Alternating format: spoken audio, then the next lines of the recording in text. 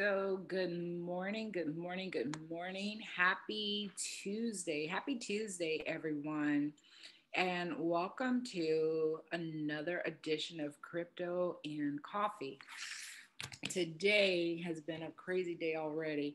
My co hosts are both, uh, one is not feeling well, and the other one is traveling on the road. So, you guys just have me for the next 30 minutes. All right. So we're going to talk a little bit about what's happening in the crypto market because let me tell you, waking up and seeing your portfolio drop, it is not for the faint of heart.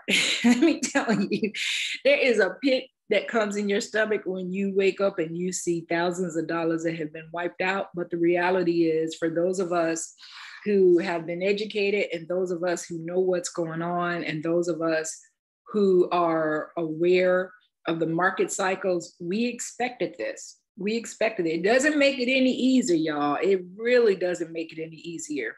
But we actually expected what's happening right now. So, what does that mean? Because right now there's a bloodbath out there in those crypto streets. Literally, it is a bloodbath.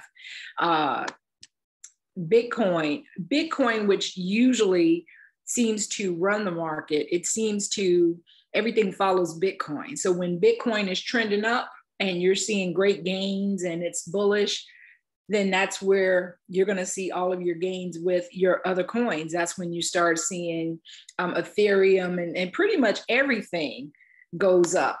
But what happens when Bitcoin starts trending down? What happens when we go into a bear market? Now, there have been uh, discussions, whisperings over the last few months that we were heading into a bear market. For those of you guys who are brand new to the crypto market, this, you know, may be a scary time it seems like, but it's really, really not. It's a great learning opportunity. But typically, here's what happens in a bearish market. Um, basically, the same things that happen with bears, they hibernate. And so it is expected that we may possibly go into a bearish market with with crypto. And what that means is that we may continue to see more drops. We may continue to see more cryptos, uh, especially a lot of the meme coins, potentially going under. Who knows? But what we are going to see um, is we're going to see some millionaires break out from this. Now, does that mean that we're going to have to wait for the bearish market to go two, three years? It, it's possible. Will you see any gains during that time? Absolutely. But right now, we're we're right at a moment where it's make or break. Um, it's it's called the death cross, and uh, so and look that up. I don't want to get too technical with it, but just kind of take a look and see what's going on in the market right now. This is a great opportunity if you had not already invested in your what I call your staple, your your your staples and your stable coins, which is going to be Bitcoin, that's going to be Ethereum, that's going to be Litecoin, um, ADA, and a few others. This is a great opportunity for you to grab some up because one thing's for sure, we thought we wouldn't see the prices go this low again, but it's definitely happening. Bitcoin touched below $30,000 now, remember, just a few months ago at its high, Bitcoin was in the mid 60s. So to see it go down below 30,000 in less than a few months would cause somebody to panic. But reality is, we know where it's going, and they're still projecting that it's going to happen by the end of this year. So there's a lot of things happening in the market right now, a lot of things um, to pique your curiosity. For me, what it does is it makes me want to learn even more about the market. For other people, where you can see the price of uh, Bitcoin and Ethereum just dropping down, it's because it's fear. Fear is really leading this. And you're seeing a lot of people drop out of the market because they don't know what to do. You know, it's sad, but a lot of investors are getting their information just off of social media. They're not taking the time to educate themselves. They're not doing their own due diligence. So they don't really know what to expect. So when they see something like this, they just think, okay, it's time to get out and they go and sell. Well, listen, the worst time to sell because you make your profit or you lose your money when you sell is just to hold on, just hold tight and work through all of this that's happening. Now, getting back to the bearish or bullish market, will we go into a bearish market? I don't I don't know. You know, looking at all of the numbers, it definitely is pointing to that. But at the same time, we have the experts and the predictions being made that we're going to hit over a hundred thousand dollars this year in Bitcoin, or that we're going to hit over ten thousand to thirty thousand dollars this year in Ethereum. So how can they both be right? Um, well, here's my theory on it and it's a wild one so just kind of just follow me. I'm not saying i'm an expert on this and i'm not giving trading advice i'm just giving you my two cents on this. So here's my thoughts on what's going to happen. I think that we're going to see bitcoin uh, ethereum pretty much all of the stable coins and even the meme coins continue to kind of tumble uh, potentially into july possibly because we're so close into july. So we're going to see them continue to um, tumble and then we're going to see some movement happen probably towards the end of July. Now, this is just based off of what I'm looking at on the charts. It looks like we're going to do a lot of tumbling before it makes a recovery. Now, is it possible that it will continue to go downwards? Well, I'm going to be honest with you. Anything is possible. Um, Bitcoin or the crypto market is honestly still in its infancy. We are, you know, barely, we're less than 15 years into this. And so it's not like there's hundreds of years of data to be able to support or tell us where the market is going to go over a 10 year period of time because we've only come out of you know really the first 10 years we haven't even went to our second decade you know so we're we're still um, in our infancy when it comes to cryptocurrency. Now to me i really believe that we're seeing some some crazy momentum happening and, and it could be because there are so many different coins in the market it's flooding the market but i do believe that we're going to see a resurgence. You know i don't i don't believe in my heart that we're going to go into a bearish market that's going to last three years. Now, uh, I know that crypto did that a few years back. You know, I was not in the market then, but I can tell you from everything I've researched, it did a few years ago, and it was a very long time. And most people got discouraged and they did the same thing they're doing right now, which is they're selling instead of holding it. And let me give this disclaimer cryptocurrency to me is just like an investment. I treat it like real estate. I treat it like I would um, anything in my stock portfolio. I treat it exactly the same. I invest for long term. I'm not investing to see how much money I can get in the next two weeks. I mean, did that happen for some people? Absolutely. There was a whole lot of people that came out of um, this last bullish run extremely wealthy, extremely rich. And even off of some of the meme coins, we know Do- um, Dogecoin um, went to 72 cents and it was never expected to even get to one penny. So a lot of craziness can happen. But again, we're in uncharted waters.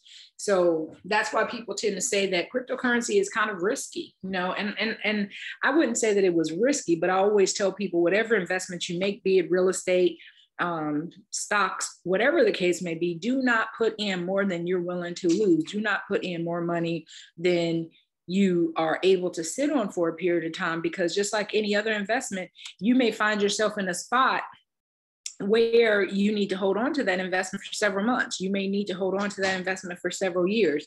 I know when the real estate market crashed in 2008, um, I was part of that market, and I can tell you for certain, homes plummeted. You had people who lost $100,000 in their home value almost overnight. And I mean, technically, it was a few months, but it was literally a bloodbath out there, very similar to what we're seeing right now. And the people who sold their properties sold it at a, a loss. They sold it um, taking a loss. Um, so they didn't, um,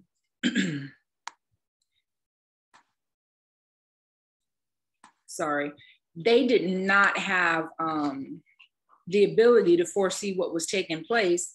And the market shot back up. I mean, 10 years ago or 12 years ago, when the real estate market plummeted, who would have ever thought that we would have been in a market where people were making um, paying uh, over a hundred thousand dollars or two hundred thousand dollars and and in some markets three hundred thousand dollars for homes. Who would have ever thought in a million years that people would have been um, paying so much over the price of a property just to get in I mean, it's just really insane. And we're talking right now, the market as far as real estate game, is we're not talking about the best of the best homes. Some of these homes are really crappy. You know, they're not the nicest looking homes, but you have to take what the market gives you. And this is no different, y'all. This is really no different. If you would have sold your house back in 2008, um, a home where you were maybe struggling to um, keep the value up, right now that house is probably doubled and tripled in value. So I liken that to the same thing with cryptocurrency, except for cryptocurrency isn't attached to anything. So it doesn't have a physical asset attached to it.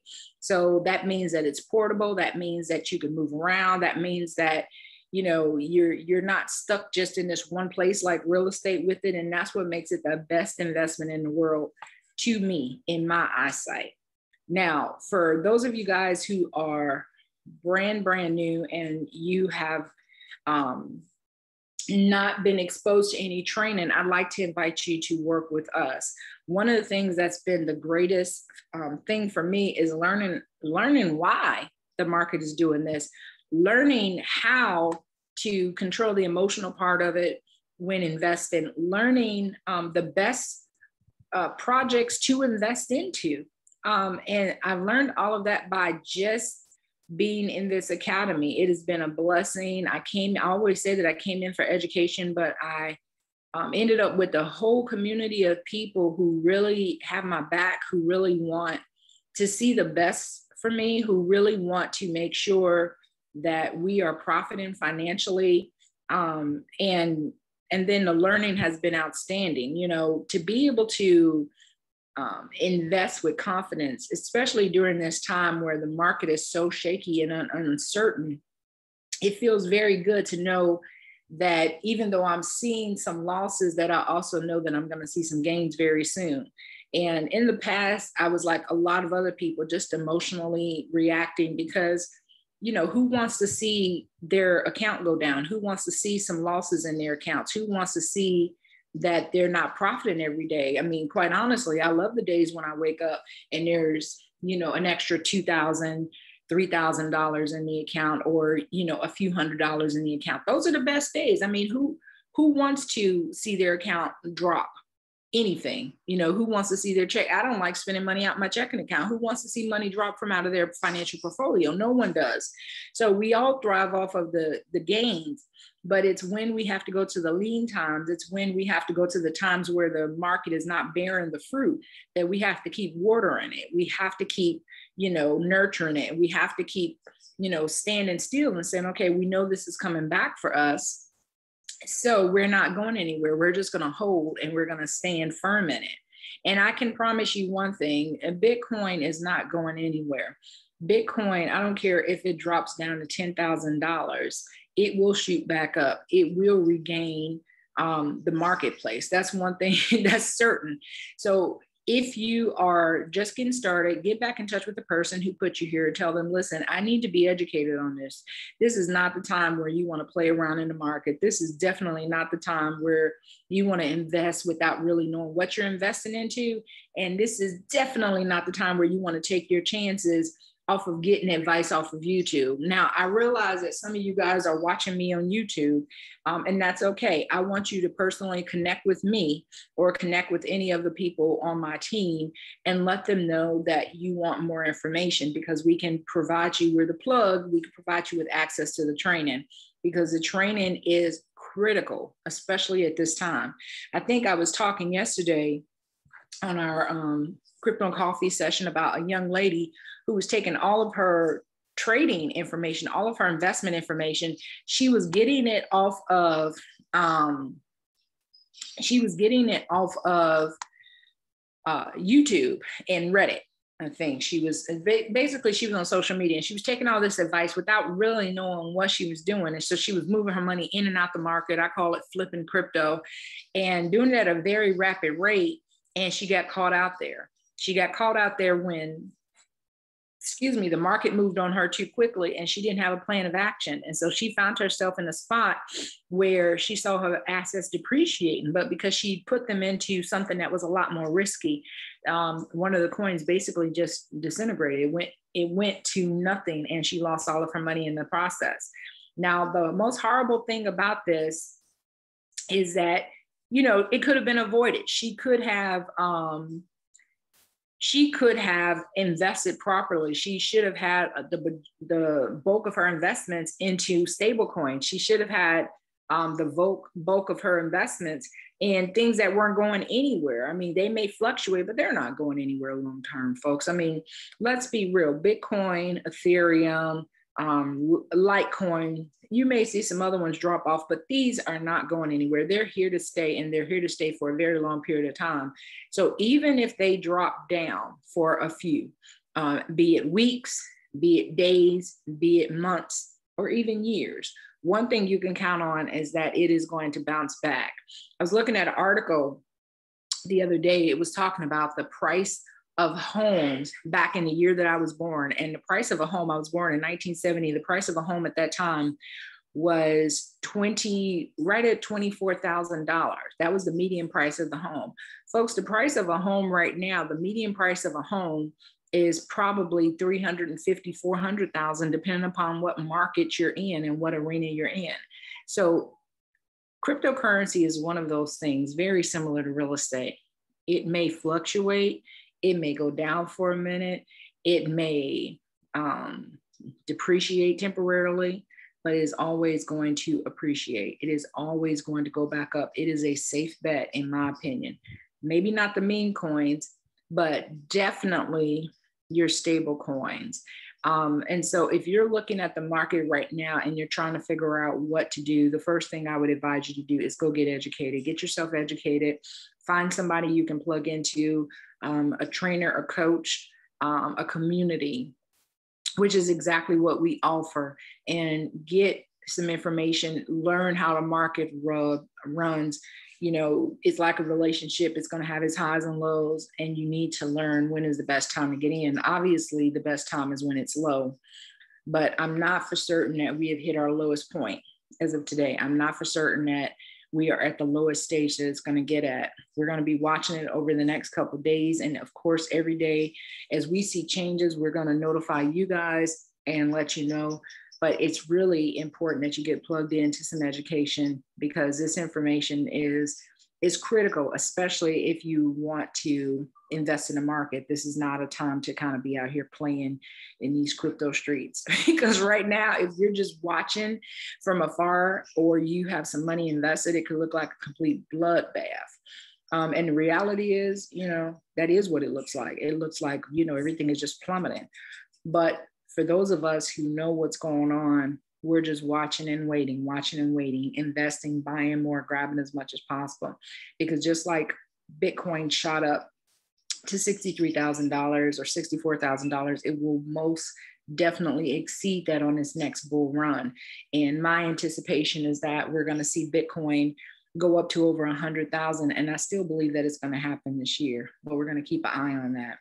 So, folks, as I mentioned, my co hosts are not with me today. So um, we're going to wrap it up in a minute. But what I do want to encourage you to do is to stay focused, to not get discouraged, to not feed into the negativity that you see in the media and plug into training and information and resources that are going to help you not only grow your portfolio, but grow and become a better person. So, guys, thank you for hanging out with me today.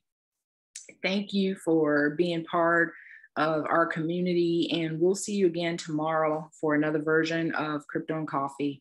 Take care, guys.